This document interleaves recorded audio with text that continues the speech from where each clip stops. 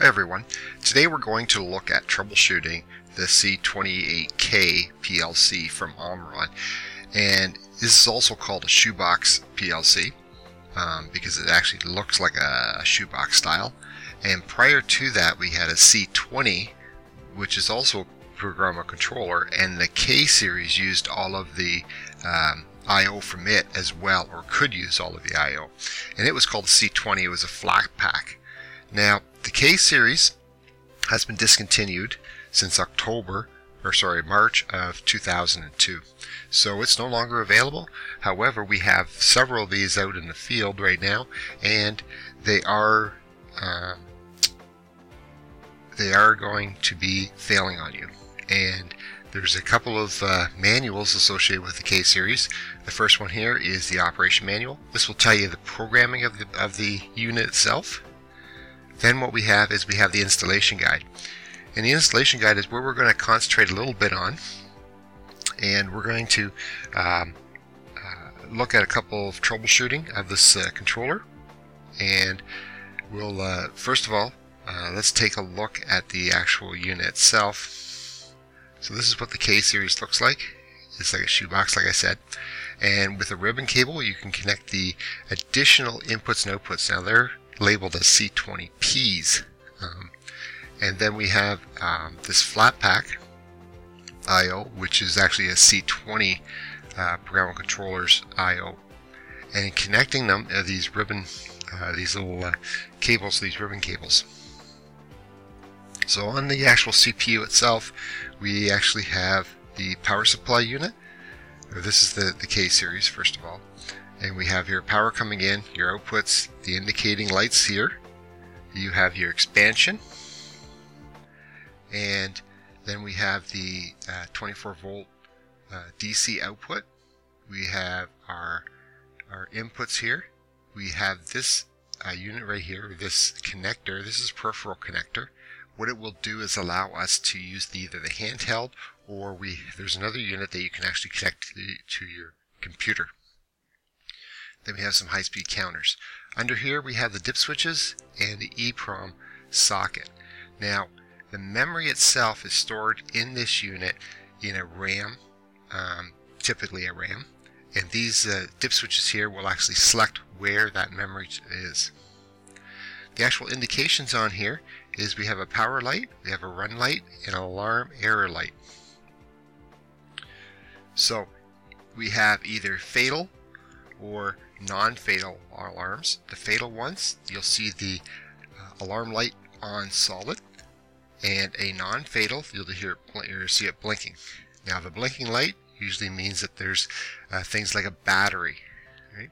And within this installation guide, there's actually a uh, chart here that describes the fatal errors and the non-fatal errors, both on the main unit as well as on the uh, link or the other uh, link IO units that you add to the system. So if we look at um, the fatal errors, things that check for is actually the power supply. And remember, these things are, are 25 years old, or they could be up to 30 years old in the field. And because of that, the first thing, or the mean time before failure, is rated on your power supply. So that's important to check. Also, things like uh, missing end statements will cause a fatal error. And usually that what that happens or how it happens is by changing the battery and taking too long, the battery dissipates and you lose your program. When you lose the program, parts of that program start missing. When those parts are missing, then it will actually cause an error to happen and it will not run anymore. And then your non-fatal error is just when it detects that the battery error is there. Also your scan time, um, if it's overrun. But typically, if it's been this long, it's not about your program. It's either about losing your, your the memory itself. So that's what we'll uh, concentrate. Now, in order to change, uh, there's uh, four screws, and you take those screws up using a Phillips, and you'll notice there's some fuses. There's one fuse for your 24 volt, and another fuse for your incoming supply those are a good chance that uh, they, they're blown. Hopefully that's it. Change the fuse and you're back up and running. If not, then um, what you'll have to do is um, go a little bit further and look at the power supply. You'll see the flat pack, the C20, uh, the expansion unit, again, four screws, and then you're inside. Now with the relay units, you can always replace the relay units. There's a little relay puller on the, on the right hand side. You can just pull them out and replace them at will. And then batteries. On the lower right hand corner, you'll see a battery with a plug. You pull that plug out and uh, you put the new one in. Now, remember that you have the four screws, they come out, you pull the top cover off, that's where your brains are. There's a, there's a capacitor keeping the program in there as you do that, and you have five minutes to do that within the K series. Okay. So, the uh, normally when you if you look at our our screen here now I do not have a K series to show you. However I do have some equipment that's equivalent. So if we look at I'm going to use a CP1M and currently right now I have a uh, the power light on and a solid fatal error. And you'll see that that's a, a red light that's showing me that I have a problem with my system right now so just like the K series, um, I'm going to use a what they call a Pro 27 controller, handheld controller. However, you could uh, on the K series, I would plug this module or this connector into the surface and then I can use the Pro 27. There's a one that goes right onto the controller called the Pro 15 and that Pro 15 will allow us to program just like I am right now.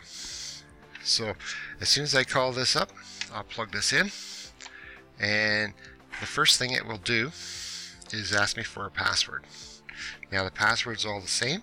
If we hit clear, monitor, clear, and then it comes up and it says, uh, in my case here, no end statement, which causes the fatal error. It could say, uh, it could say uh, CPU error, it could say memory error, it could be another number of issues. Again, we go back to the troubleshooting in our manuals and we'll see what's going on.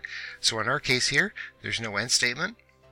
So what I can do is throw it into program mode and I hit clear.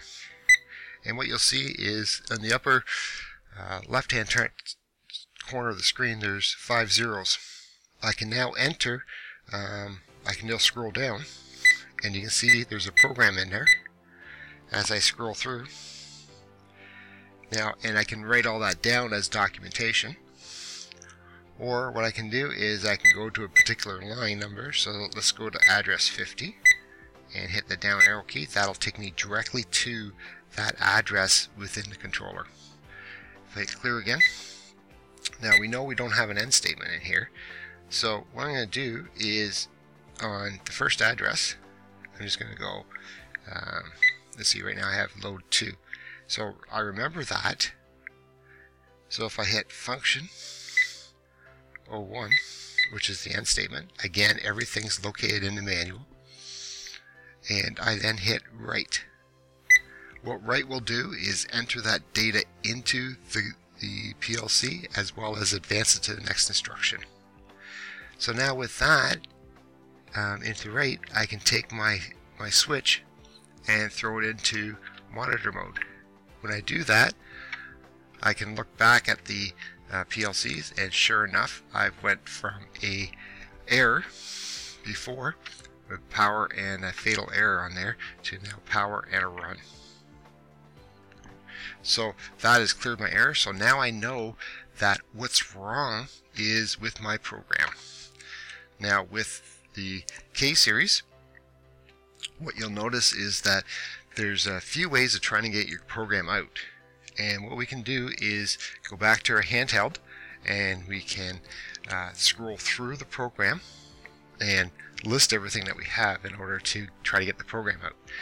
Unfortunately, if we don't have a backup, then we're kind of out of luck. Now, look around for copies and hopefully there's something that we can use. Yeah, Omron actually provides in their latest software package, there is called CX Programmer, there is a, a CX programmer file converter. And when you go, and that's part, it's right in the CX programming file. So if you go File, Import, and then the type of uh, file you want to import, would be either the old Syswin, um, either SSS, or LSS, ladder support software. Now that'll all depend on if you look at the old files then there'd be a .dat for your data files and that's from the LSS software.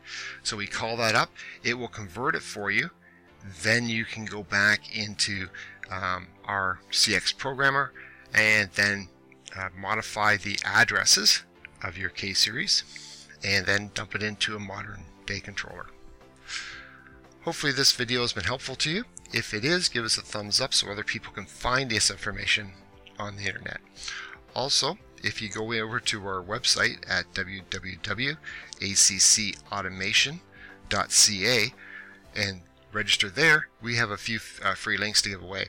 Also, everything that I've talked about right now, including the links to the manuals for both the K series and the C20, are located on our website. Thanks for watching.